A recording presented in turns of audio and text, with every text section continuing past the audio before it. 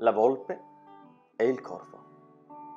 Un giorno un corvo, volando attraverso una finestra, vide poggiato su di un tavolo un boccone di formaggio. Non c'era nessuno nella stanza, così entrò dentro e rubò il boccone.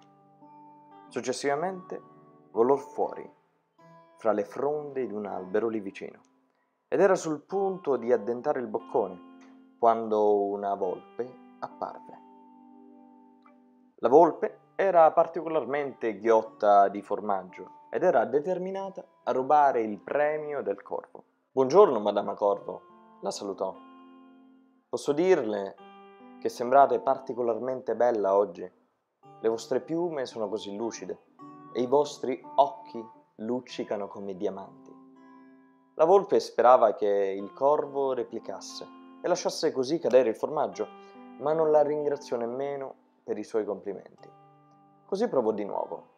Avete davvero un bellissimo collo e i vostri artigli sono davvero magnifici. Sembrano come gli artigli di un'aquila. Ciononostante, il corvo continuò ad ignorarlo. La volpe poteva annusare il delizioso formaggio e aveva già l'acquolina in bocca. Doveva trovare un modo per farle cadere il formaggio. E così escogitò un piano. In tutta onestà, siete la più bella fra i volatili, disse. Infatti, se la sua voce fosse comparabile alla sua beltà, la chiamerei la regina dei volatili. Perché non canta una canzone per me? Al corvo piacque l'idea di essere insignita di cotale titolo da tutte le creature del bosco.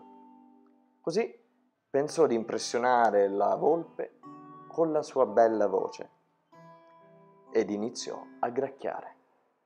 Ovviamente, non appena aprì il becco, il pezzo di formaggio cade giù, sino al suolo. In un istante, la volpe afferrò il pezzo di formaggio e lo divorò in un sol boccone. Grazie, disse, era tutto ciò che volevo. Devo ammettere che avrete pure una bella voce, ma non avete davvero un buon cervello. La morale è mai fidarsi di un adulatore.